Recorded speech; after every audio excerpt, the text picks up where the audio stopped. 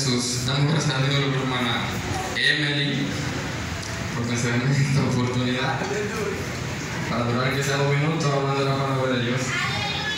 Gloria a Jesús. Busquen la Biblia en San Lucas capítulo 9. De ahí vamos a tomar un versículo nada más.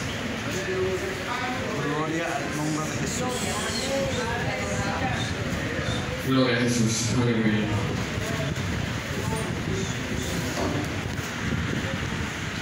Poderoso es el Señor. Con cuantos amén, iniciamos. Leemos la palabra en nombre del Padre, del Hijo y del Espíritu Santo. Amén. Habiendo reunido a sus doce discípulos, les dio poder y autoridad sobre todos los demonios y para sanar enfermedades. Aleluya. La congregación entera da gracias por su palabra. Aleluya. Poderoso es el Señor. Mi alma te adora Jesús. Aleluya. Aleluya. Poderoso Dios. Aleluya. Gloria a Jesús. Gloria a Jesús. Aleluya. Santo es el Señor. Aleluya. Aleluya. Gloria a Jesús. Amén.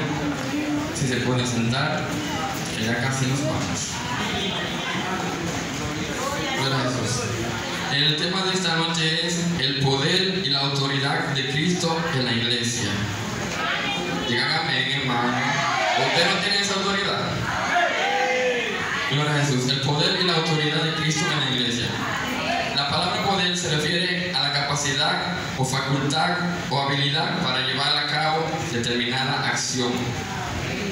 La autoridad es el atributo que se otorga a una persona, cargo u oficio, el derecho para dar órdenes. Aleluya.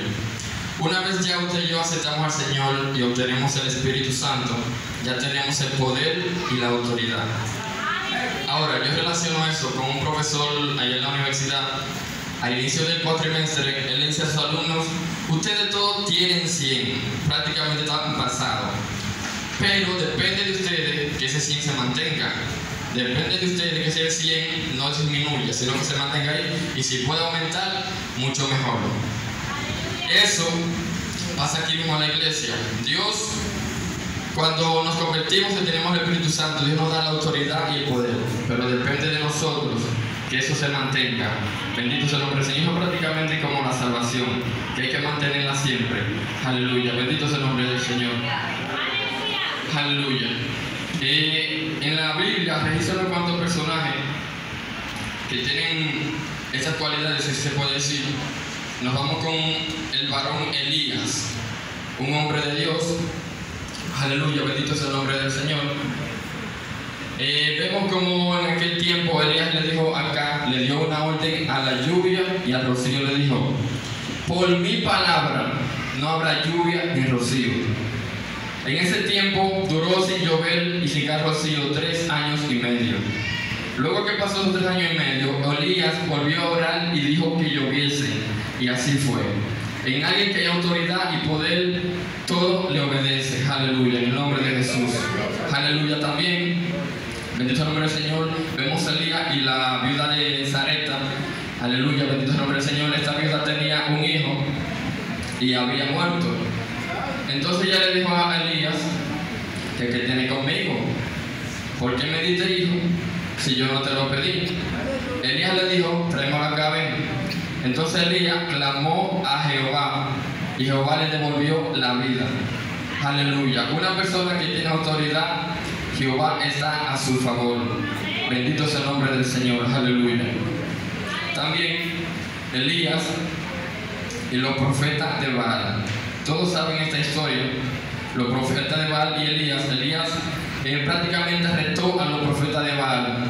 Vamos a ver cuál es el Dios aquí en esta tierra y en el mundo entero. Bendito sea el nombre del Señor. Aleluya. Él le dijo, preparen todo y llamen a su Dios. Es tan tal que Elías se burlaba de ellos porque ellos llamaban a Baal y no respondía. Lo llamaban y no respondía. Hasta le dije, llámenlo maduro que quizás está durmiendo. Bendito sea el nombre del Señor. Pero cuando le tocó el turno a Elías, Bendito el nombre Señor. Ahí él demostró quién fue Jehová de los ejércitos y quién es Jehová de los ejércitos. Bendito el nombre del Señor. Él preparó su holocausto, le echaron agua, sin más agua, piedra. Y cuando oró, descendió fuego del cielo. Bendito el nombre del Señor. Y quemó el holocausto y quemó toda el agua, la consumió toda la que había ahí. Bendito el nombre del Señor. Aleluya. Él quedó demostrado que en Elías había poder y autoridad. Bendito sea el nombre del Señor. También vemos a Eliseo, un hombre también de Dios que sucede, después de Elías, sucede, sucede, sucede, sucede. Suce- Sucesor, es hermano. Vemos a Elías, Elías va subiendo a Betel y van unos muchachos. Elías era calvo en ese tiempo. Y le dice a ese muchacho, calvo, sube, calvo, sube. Y, el, y Eliseo lo, lo- lo logró ver y lo maldijo. ¿Y qué pasó? Salió un oso de tanta mata que habían por ahí y mató como a 42 muchachos.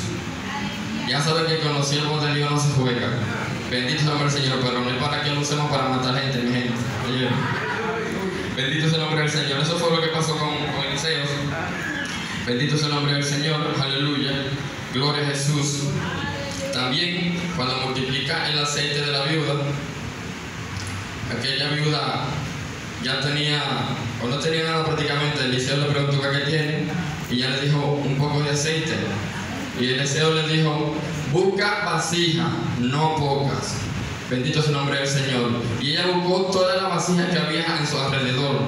Aleluya. Y el aceite empezó a multiplicarse por la palabra de Eliseo. Bendito sea el nombre del Señor. Solamente el aceite cesó. Aleluya, cuando se acabaron las vasijas. Si hubiese más vasijas, hasta ahora todavía hubiera aceite. Bendito sea el nombre del Señor. Aleluya. Aquí vemos también que Eliseo es un hombre de Dios, era un hombre de Dios, de poder y autoridad. Bendito sea el nombre del Señor, aleluya.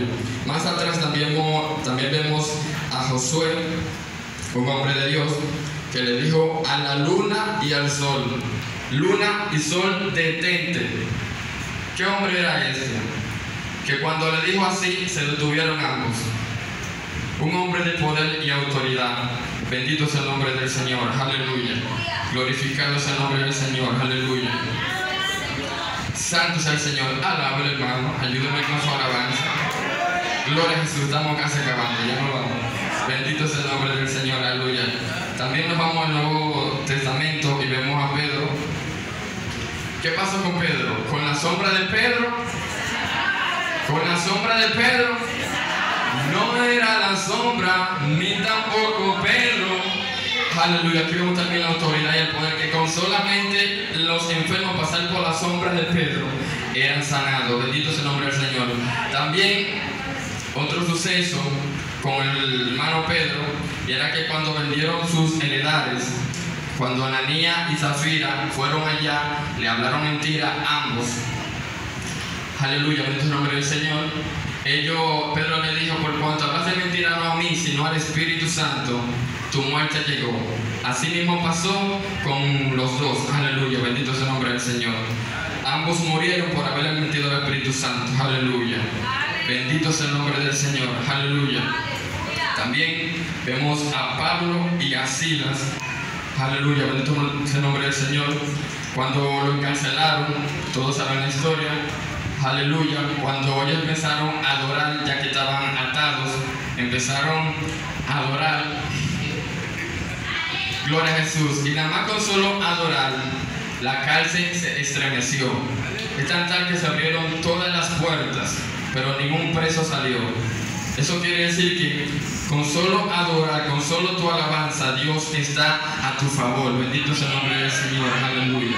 No tuvieron que declarar puerta, ábrete, Dios mío, sácanos de aquí, no. Con solamente con su alabanza se abrieron las puertas, aleluya, y pudieron salir. Aleluya. ¿Qué indica eso? Que hay poder y autoridad. Bendito sea el nombre del Señor. Aleluya. Gloria a Jesús. Aleluya. También ese poder lo tenemos usted y yo. Como le decíamos ahorita, que eso depende de nosotros, que ese poder se mantenga.